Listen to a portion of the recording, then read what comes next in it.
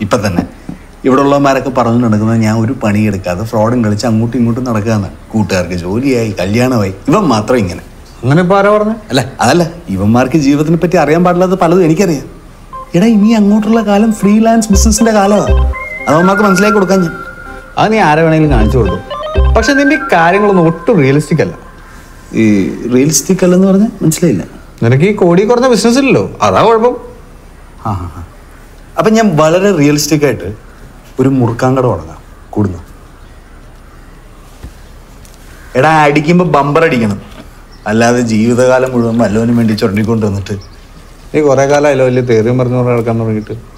ഇതുവരെയായിട്ട് വല്ല നടന്നു എന്റെ പരിപാടി? കുറെ കാശ് പോയതല്ലേ സന്തോഷം തെറ്റിയതിന്റെ തിയറിയല്ല തെറ്റിയത് കാൽക്കുലേഷനാണ് എന്തെങ്കിലും മറിക്കാൻ ഫണ്ടില്ലാതെ പോയി ഫണ്ടർക്ക് ആരെങ്കിലും പറട്ടെ അപ്പം ഞാൻ കാണിച്ചു തരാം അതിന് നീ ആരെ കുറ്റം പറഞ്ഞിട്ട് കാര്യമില്ല. നിന്റെ ഈ പരിപാടിക്ക് ഒരു തരം തരിയുടെ അല്ലേ എന്ത് തരികട?